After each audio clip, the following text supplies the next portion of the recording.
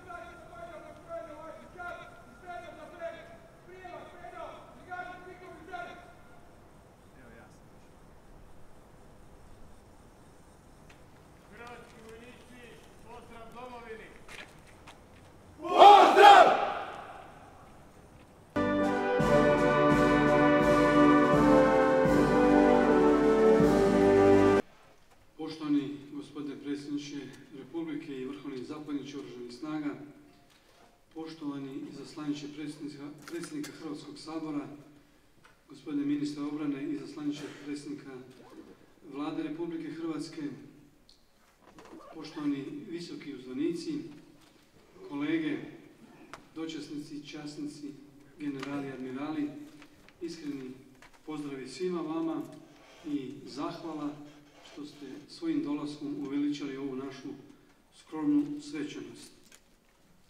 Obilježavamo danas dan glavnog stožera, ipak jedan važan dan u povijesti moderne Republike Hrvatske. Poštovani predsjedniče Republike, poštovani izaslaniče predsjednika Hrvatskog sabora, poštovani načelniče glavnog stožera, oružanih snaga, cijenjeni uzvanici, poštovani predsjednice medija, dame i gospodo.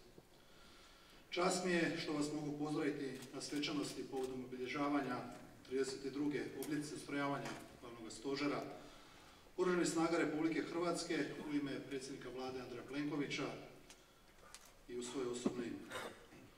U 32 godine postojanja, svjedočenja i nošenja sa različitim izazovima i društvenim promjenama, glavni stožer kao dio Ministarstva obrane u svakoj epohi postave, postave sve jači, sposobniji, organizirani, sposoban za nošenje sa svim izazovima koje određeno vrijeme podrazumijevalo i nametalo. Poštovani domaćini, gospodine ministre, gospodine načelniče, poštovani izaslani- izaslaniče, generali, admirali, časnici, dočasnici, hrvatski vojnici. Sretan dan Hrvatskog, glavnog stožera Hrvatske vojske. U relativno kratkom vremenu napustilo su nas dva odličnika, značajna, važna čovjeka koji su bili na čelu ove institucije, to su Pavao Miljavac. Uvijek je prerano, ali on je otišao stvarno rano tragičnim slučajem koji se dogodio dok je radio. Radio je cijeli život i od toga se nije oporavio i nažalost preminuo je u jednoj zagrebačkoj bolnici. Bio je moj dobar kolega, prijatelj, ako tako mogu reći, ali ne iz ratnog vremena, nego iz poslijeratnog. I u 92. godini života Bribirski orao Anton Tus, prvi načelnik i na neki način osnivač glavnog stožera, moj u jednoj fazi učitelj, ne vojne vještine, nego vojno-diplomatske, suradnik, prijatelj. To su ljudi koji su ugradili sebe u onom doslovnom smislu riječi, kako se kaže, u hrvatski sustav i u hrvatsku državu. Bez njih ne bi postojala onakva kakva jest. Postojala bi, ali ne onako kakva jest. I svako ko je radio tako odgovoran posao, dao je utkao sebe u onom jednom važnom i nezaobilaznom dijelu. Rat u Ukrajini je samo posljedica toga.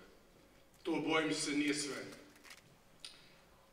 Ujedinjeni narodi kao organizacija i centralna točka i centralna točka okupljanja i rada i donošenja odluka u prostoru svjetske sigurnosti je postao jedna potpuno disfunkcionalna organizacija do te mjere da čak i neki visoko rangirani diplomati od kojih se to najmanje očekuje pišu već i objavljuju stručne i političke radove o tome treba li nam takva organizacija.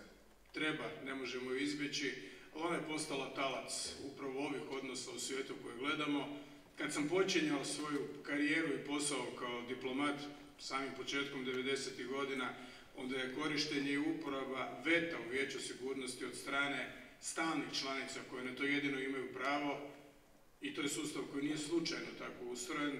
To je bila iznimka, to je bio događaj koji je mamio i vabio naslovne stranice najjačih svjetskih novina. Danas je to naprosto meni du jour.